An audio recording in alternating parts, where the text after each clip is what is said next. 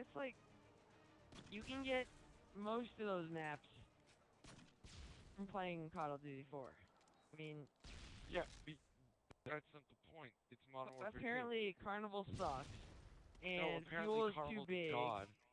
and Um, Trailer too Park big, is the only so one. good. Trailer Park is amazing. That guy just missed every single shot. He Ah! just got destroyed. Ah! Are you Dude! kidding me? Did you record that? That guy is dumb. Why would he? e- That is Fail bad. to How all